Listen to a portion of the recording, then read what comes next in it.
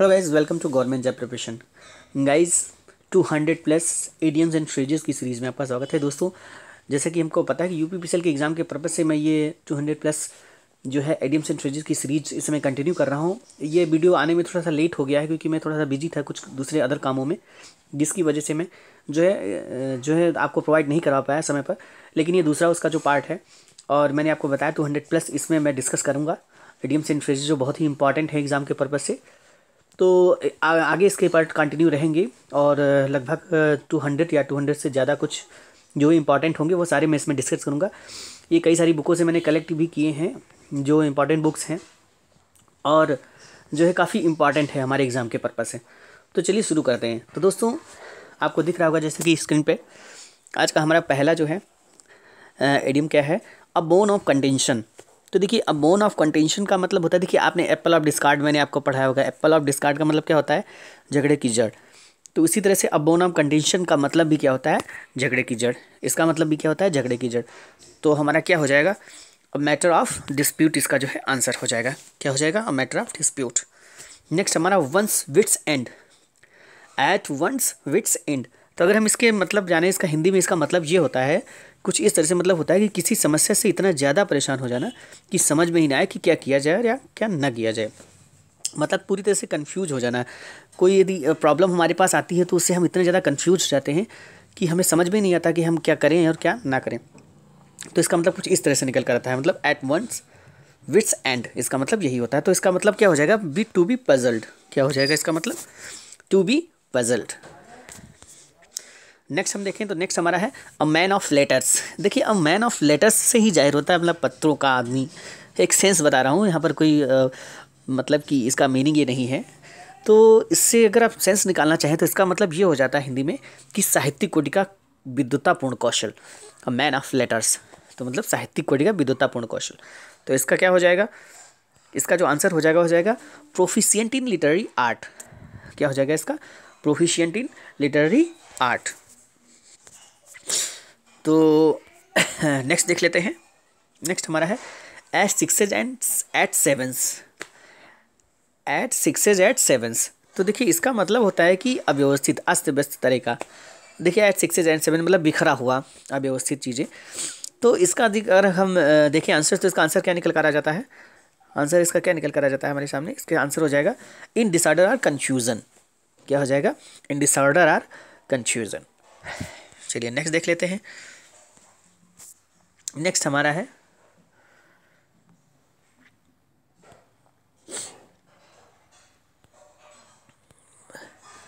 अब birds eye view देखिए अब बर्ड्स आई व्यू का मतलब देखिए ये होता है, जैसे आपको इसके सेंटेंस से ही पता चला होगा अब वर्ड्स आई व्यू मतलब कि जो है बहुत ही ससरी निगाहों से देखना वर्ड्स आई व्यू मतलब बिना ज़्यादा अटेंशन के ऐसे ससरी निगाहों से। देखना। तो इसका मतलब देखिए हो जाएगा आपका। मतलब अगर हिंदी में इसकी बात करें तो विहंगम दृष्टि होना बहुत ही मतलब ससरी निगाहों से किसी चीज़ को देख लेना। तो इसका मतलब हो जाएगा a general view from above मतलब कि एक जनरल व्यू एक सामान्य व्यू बहुत ज़्यादा गंभीरता से न देना, उस पर बहुत ज़्यादा अटेंशन न देना किसी चीज़ पर मतलब बर्ड्स आई व्यू उड़ते उड़ते या बर्ड्स की तरह हल्का सा जनरल व्यू दे देना। तो ये हो जाता है इसका जनरल व्यू फ्रॉम एबव ऊपर से कोई जनरल व्यू दे देना। ठीक है नेक्स्ट हम देखें। तो नेक्स्ट हमारा होता है ब्लैड ब्लड सॉरी बैड ब्लड तो देखिए बैड ब्लड के तो सेंस ही आपका क्लियर हो जाता है कि दुर्भाव या बैर। बैड ब्लड मतलब क्या कहते हैं तो बड़ा इसका खून, बड़ा गंदा खून है ये मेरा। आपने फ़िल्मों में कई सारे डायलॉग सुनेंगे तो इसी तरह से मतलब ये कह सकते हैं कि दुर्भाव या बैर की भावना रखने वाला। तो इसका मतलब ये हो जाता है इनमिटी मतलब सततापूर्ण भावना। क्या हो जाता है? इनमिटी नेक्स्ट हम देखें तो नेक्स्ट हमारा beat about the bush beat about the bush अगर इसकी हिंदी जाने तो इसका मतलब होता है कि घुमा फिरा कर बात करना, मुद्दे पर ना आना। मतलब अलग अपना अलग ही अलाप हाँकना जैसे हिंदी में बोलते हैं ना, अपना अलग अलग हाँकना कि मतलब कि मुद्दे पर ना आकर कुछ और ही अला हाँकते रहना, कुछ और ही बारे में बात करते रहना, वही मतलब beat about the bush sorry दोस्तों। तो अगर इसका हम देखें तो इसका हो जाएगा डज नॉट टेक स्पेसिफिकली क्या हो जाएगा? डज नॉट सॉरी टेक कह रहा हूँ। डज नॉट टॉक स्पेसिफिकली क्या हो जाएगा इसका? Does not talk specifically next हम देखें तो हो जाएगा बैड हैट्स देखिए बैड हैट्स का मतलब होता है दुष्चरित्र मतलब बहुत ही बुरा चरित्र। बैड हेड्स तो मतलब होगा पीपल ऑफ़ बैड कैरेक्टर्स इसका मतलब क्या हो जाएगा? पीपल ऑफ़ बैड कैरेक्टर्स ये सारे बहुत ही ज़्यादा इंपॉर्टेंट एडियम्स एंड फ्रेजेस मैं यहाँ पर डिस्कस कर रहा हूँ।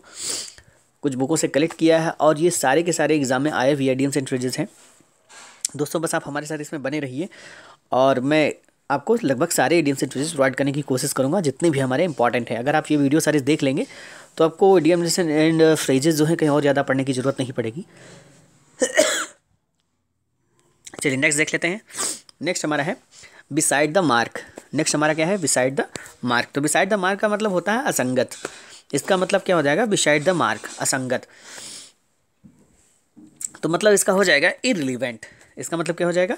इरिलीवेंट नेक्स्ट हम देखें तो नेक्स्ट है बीटन हॉलो नेक्स्ट क्या है?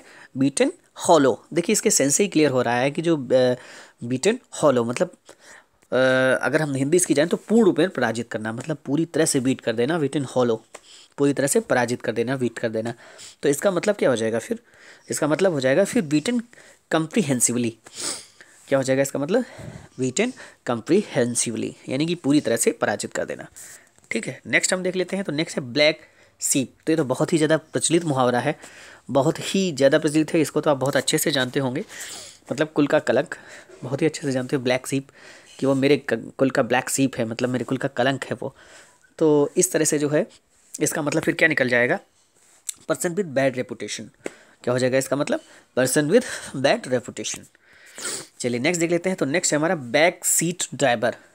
तो देखिए, बैक सीट ड्राइवर का मतलब होता है कि ऐसा ऐसा इंसान जो मतलब मुझे अनचाही सलाहें देता रहता है अनवांटेड सजेशंस देता रहता है, जो बेवजह की सलाह देता रहता है तो मतलब इसका अगर हिंदी में देखें तो बेकार की सलाह देने वाला जो इंसान होता है, पीछे बैठे हैं, कुछ काम नहीं है, बेवजह की सलाह हमें देते जा रहे हैं।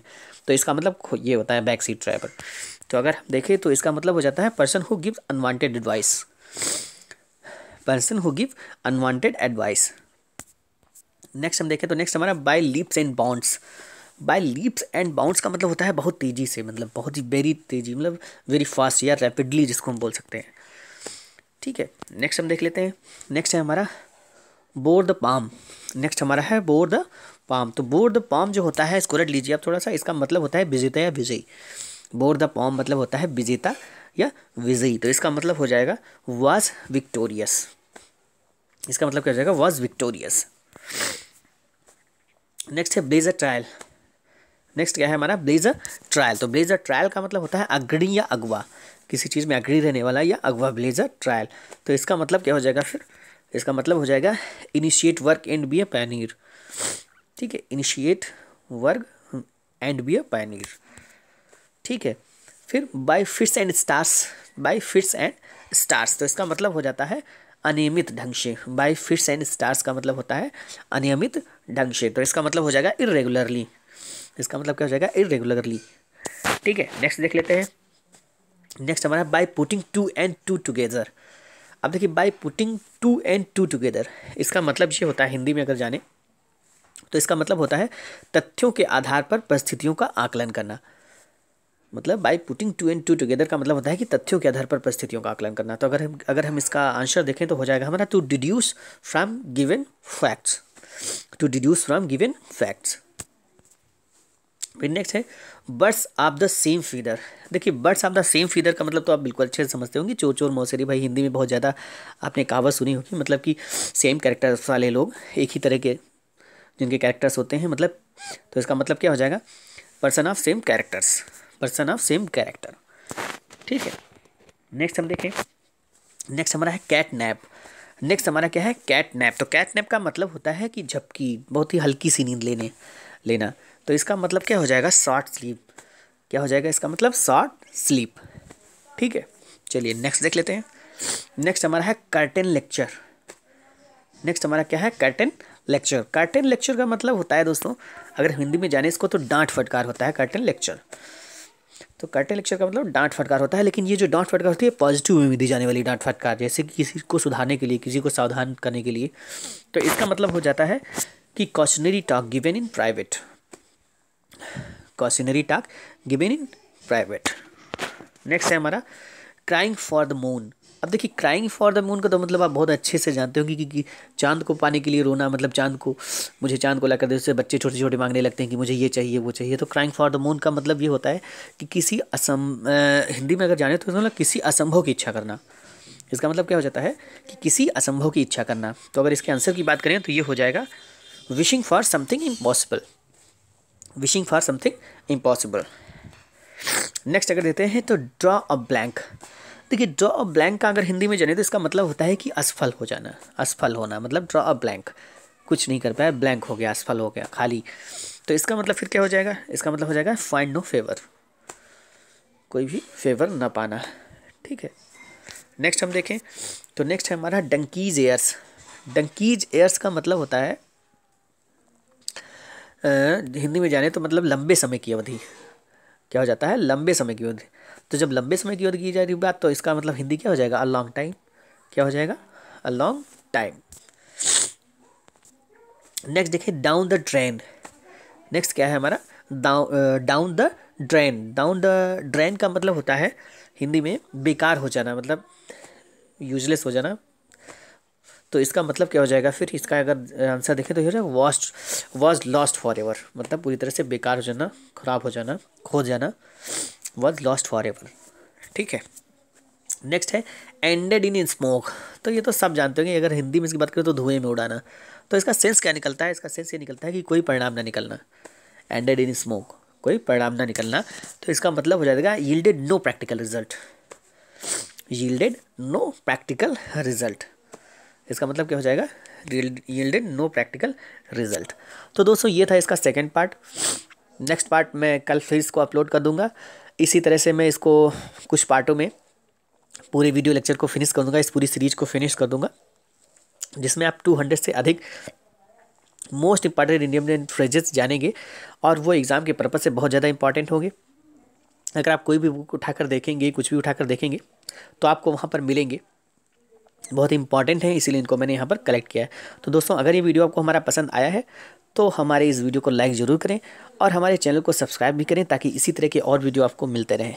मिलते हैं नेक्स्ट वीडियो में, तब तक के लिए थैंक यू